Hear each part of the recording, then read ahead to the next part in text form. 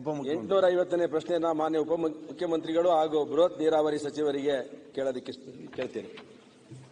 ಉಪಮುಖ್ಯಮಂತ್ರಿ. ಅಧ್ಯಕ್ಷ ಉತ್ತರವನ್ನು ಒದಗಿಸಲಾಗಿದೆ. ಮಾನ್ಯ ಸಭಾಧ್ಯಕ್ಷರೇ ಉತ್ತರವನ್ನು ಒದಗಿಸಿದ್ದಾರೆ. ಉತ್ತರ ಅಂತ ಹೇಳಿದ್ರೆ ಹೆಬ್ಬೂರುಗೂಡು ಏತ ನೀರಾವರಿ ಯೋಜನೆ ಸ್ಥಗಿತಗೊಂಡಿರುವುದಿಲ್ಲ ಅಂತ.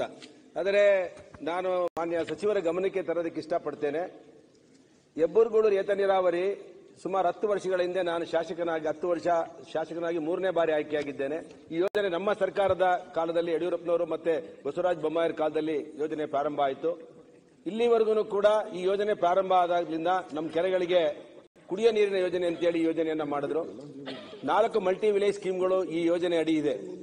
ಇಲ್ಲಿವರೆಗೆ ಯೋಜನೆ ಸ್ಥಗಿತಗೊಂಡಿಲ್ಲ ಸತ್ಯ, ಒಪ್ಕೊಳ್ತೇನೆ ನಾನು. ಆದರೆ ಕೆರೆಗೆ ಯಾಕೆ ನೀರು ತುಂಬಿಲ್ಲ ಅನ್ನೋದನ್ನ ಪ್ರಶ್ನೆ. ನಾನು ಅಧಿಕಾರಿಗಳನ್ನ ಕರೆದು ಕೇಳಿದಂತ ಸಂದರ್ಭದಲ್ಲಿ ಸುಮಾರು ಐದು ಕೋಟಿ ರೂಪಾಯಿ ಕರೆಂಟ್ ಬಿಲ್ಲು ಬಾಕಿ ಉಳಿದಿದೆ ಅಂತ ಹೇಳಿದ್ರು.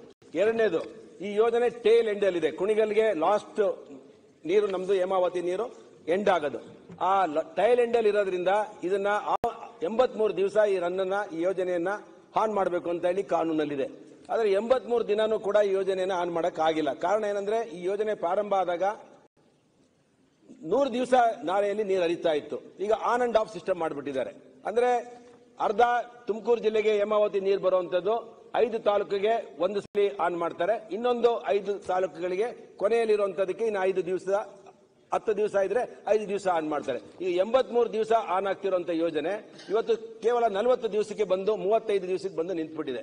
ಅದರಿಂದ ಯಾವುದೇ ಕೆರೆಗೆ ನೀರು ತುಂಬಕ್ ಆಗ್ತಿಲ್ಲ ಯಾವುದೇ ಕೆರೆ ನೀರು ತುಂಬದಲ್ಲೇ ಇರೋದ್ರಿಂದ ಮಲ್ಟಿ ವಿಲೇಜ್ ಸ್ಕೀಮ್ಗಳು ರನ್ ಆಗ್ತಾ ಇಲ್ಲ. ಅಂದ್ರೆ ಅದಕ್ಕೂ ಕೂಡ ಐವತ್ತು ಕೋಟಿ ಹಣ ಖರ್ಚು ಮಾಡಿದೆ ಸರ್ಕಾರ.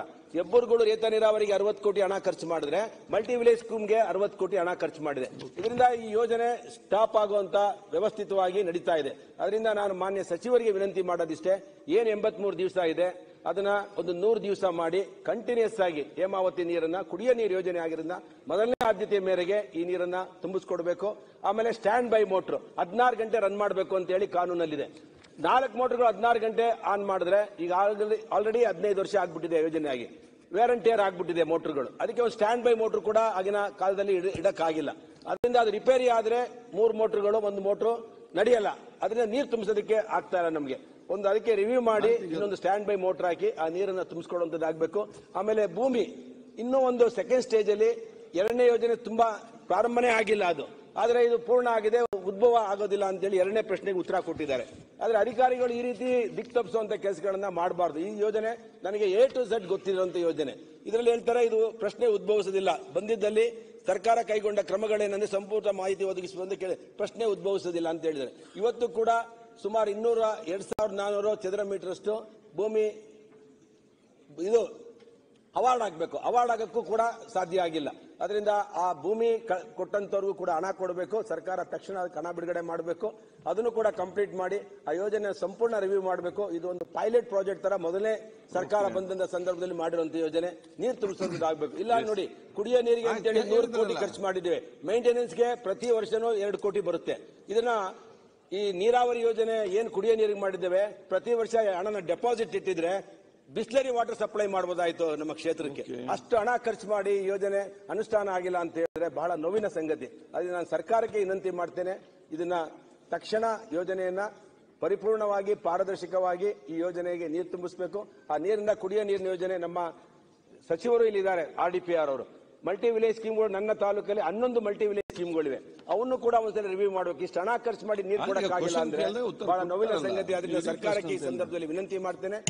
ಹೇಮಾವತಿ ನೀರನ್ನು ತುಂಬಿಸ್ಕೊಡುವಂಥದ್ದು ಬಹುಗ್ರಾಮ ಯೋಜನೆಯನ್ನು ಕೂಡ ಕಾಲ ಕಾಲಕ್ಕೆ ರಿವ್ಯೂ ಮಾಡಿ ಸರಿಯಾದ ರೀತಿಯಲ್ಲಿ ಅನುಷ್ಠಾನ ಆಗುವಂಥದ್ದನ್ನು ಆಗಬೇಕು ಅಂತ ನನ್ನ ವಿನಂತಿ ಸರ್. ಓಕೆ.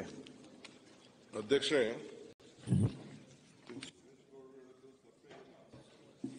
ಅದೇ ಒಂದು ಪಾಲಿಸಿ ನಾವು ಮಾಡಬೇಕು. ನಾವು ಮೊನ್ನೆ ಜಾರ್ಜ್ ಅವ್ರ ಹತ್ರ ಮಾತಾಡಿದೆ. ಜಾರ್ಜ್ ಸಾಹೇಬ್ರೆ, ಅವ್ರ ಹತ್ರ ಮಾತಾಡಿದೆ ನಾ. ಹಿಂದೆ ಪವರ್ ಮಿನಿಸ್ಟರ್. ನಮ್ಮಲ್ಲಿ ಒಂದು ಕೆಟ್ಟ ಸಂಪ್ರದಾಯ ಬೆಳೆಸ್ಕೊಬಿಟ್ಟಿದೀವಿ ಎಲ್ಲರಿಗೂ ಲಿಫ್ಟ್ ಇರಿಗೇಷನ್ ಸ್ಕೀಮ್ ಬೇಕು. ಕೆರೆಗಳನ್ನ ತುಂಬಬೇಕು. ಯಾರು ದುಡ್ಡು ಕಟ್ಟೋರಿಲ್ಲ.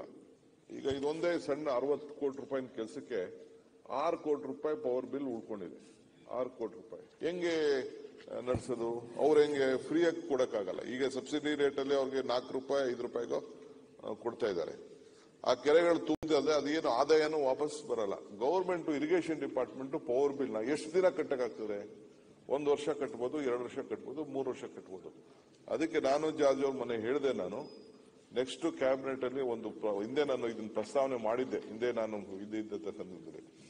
ಯಾವ್ದಾದ್ರು ಇಂಥ ಕೆರೆಗಳನ್ನ ತುಂಬಿಸ್ತೀವಿ. ಸರ್ಕಾರನೇ ತುಂಬಿಸ್ತದೆ. ಅಲ್ಲಿ ಫಿಶರೀಸ್ ಬಹಳ ದೊಡ್ಡ ಅವಕಾಶಗಳಿದೆ. ಆ ಫಿಶರೀಸ್ ಸೊ ಆ ಫಸಲನ್ನ ಹರಾಜು ಮಾಡಬೇಕು. ಹರಾಜು ದುಡ್ಡನ್ನ ಸರ್ಕಾರಕ್ಕೆ, ಯಾಕೆಂದ್ರೆ ರೈತರಿಗೆ ಅನುಕೂಲ ಆಗುವಂತದ್ದು ಇನ್ನೇನು ರೈತರು ಯಾರು ಕೆರೆ ತುಂಬಿತು ಅಂತ ಅಂದ್ಬಿಟ್ಟು ಬಿಲ್ ಯಾರು ಕಟ್ಟೋದಿಲ್ಲ, ಇಲ್ಲ ಅಂದ್ರೆ ಟ್ಯಾಕ್ಸ್ ಕಟ್ಟೋದಿಲ್ಲ, ಇಲ್ಲ ಇದನ್ನು ಮಾಡೋದಿಲ್ಲ. ಮೊದಲಾದ್ರೆ ವಾಟರ್ ಅಸೋಸಿಯೇಷನ್ಗಳು ಎಲ್ಲ ನಾವು ಬೇಕಾದ್ರೆ ಸ್ಥಾಪನೆ ಮಾಡಿ ಆ ರೈತರ ಜವಾಬ್ದಾರಿ ತೆಗೆದುಕೊಳ್ತಾ ಇದ್ರು. ಯಾರು ಮಾಡೋದಿಲ್ಲ.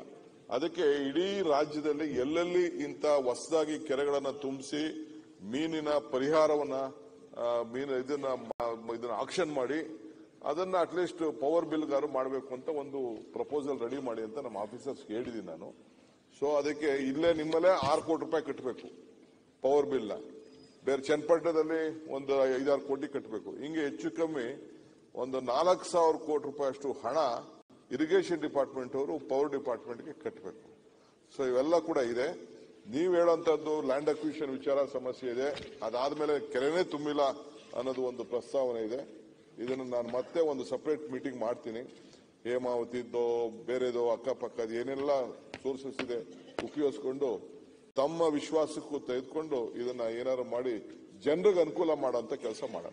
ನಮ್ದು ಒಂದೇ ಸರ್ ಆ ನೀರು ತುಂಬಿಸೋದಕ್ಕೆ sir on and off system ಮಾಡಿದ್ದಾರೆ. ಎಂಬತ್ತೊಂಬತ್ತು ದಿವಸ ನೀರು ಬಿಡಬೇಕು ನೀರನ್ನ ಆನ್ ಮಾಡಬೇಕು ಅಂತ.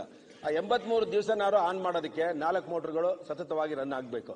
ಅದಕ್ಕೆ ಸ್ಟ್ಯಾಂಡ್ ಬೈಲ್ ಈಗ ಹಳೇದಾಗ್ಬಿಟ್ಟಿದೆ ಅವಾಗ ಅವಾಗ ಕೆಟ್ಟೋಗ್ತವೆ. ಅದಕ್ಕೆ ಒಂದು ಸ್ಟ್ಯಾಂಡ್ ಬೈನ ಅದನ್ನ ಜೋಡಿಸಬೇಕು. ಆಮೇಲೆ ಎಂಬತ್ಮೂರು ದಿವಸ ನೀರು ಬಿಡಿಸಬೇಕು. ಸರ್ ಇದು ಕುಡಿಯೋ ನೀರಿನ ಯೋಜನೆ ಆಗಿರೋದ್ರಿಂದ. ಯಾವ್ದು ಕೂಡ ಸುಮ್ಮನೆ ಕೆರೆ ತುಂಬಿಸಲ್ಲ.